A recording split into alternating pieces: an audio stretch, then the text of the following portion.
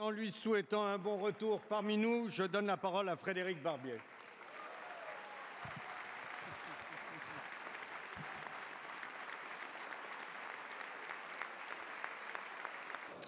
La législative partielle qui s'est achevée dimanche 8 février porte des enseignements très forts qui doivent interpeller tous les responsables publics de notre pays. Avant toute chose, je veux remercier les électeurs qui se sont mobilisés pour soutenir la démarche que nous portions avec l'équipe qui m'entourait. Je resterai le porte-parole fidèle et consciencieux de leurs aspirations et de leurs attentes sur les bancs de l'Assemblée nationale. Chers collègues, la quatrième circonscription du Doubs est une petite France qui concentre toutes les interrogations, toutes les angoisses, mais aussi tous les espoirs que peuvent éprouver les Français aujourd'hui. Ministre Manuel Valls.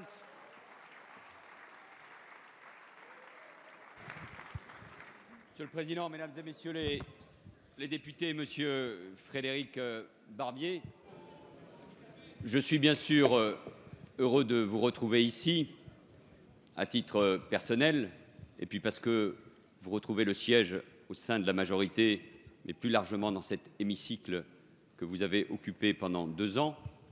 Mais je suis heureux de vous retrouver ici parce que sinon, à votre place, c'était un député du Front National qui aurait siégé.